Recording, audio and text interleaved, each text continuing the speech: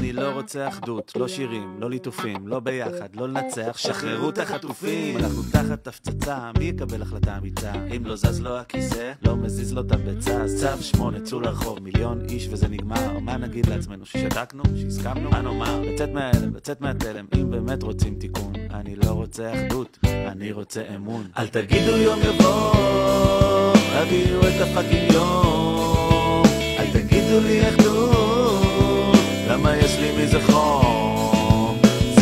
עניין של חיים ומוות, זה דחוף וזה מגיע לנו. שתהיה פה הנהגה מקצועית ישרה שעובדת בשבילנו ואוהבת אותנו. זה עלינו. זה עלינו. זה עלינו. לרחוב, זה עלינו. זוכרים ליל גלנט? ברור. איזה יופי לחץ ציבורי עובד. מתי נדפקנו שסתמו את הפה נראה לנו מסר מאחד, ואיך זה נהיה נורמלי? למה זרמנו עם המשוואה שההפגנות שווה פילוג וביקורת שווה שנאה? די להשתיק להרדים לגזלת, צריך לשאול את השאלות. דווקא עכשיו זה לא הזמן, אז מה אני אמור לעשות? להסכים לחטוף מכות למען שלום בית? זה לא מועיל, זה בול הזמן. עכשיו, שלשום, להעיף אותם על תל. אל תגידו יום יבוא, הביאו את הפאקינג יום. אל תגידו לי אחדות, למה יש לי מזה? דחוף וזה מגיע לנו. שתהיה פה הנהגה מקצועית ישרה שעובדת בשבילנו ואוהבת אותנו. זה עלינו. זה עלינו.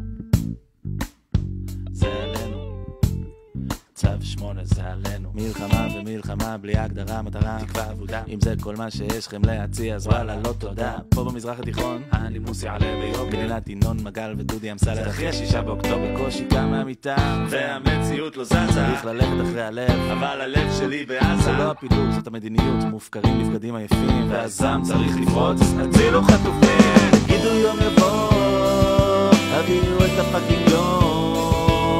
אל תגידו לי אחדות,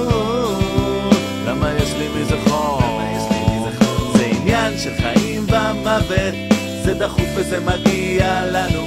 שתהיה פה הנהגה מקצועית ישרה שעובדת בשבילנו ואוהבת אותנו.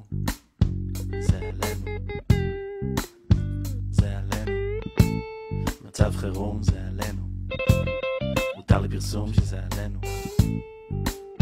זה עלינו. לא צריך לחכות לכלום, זה עלינו.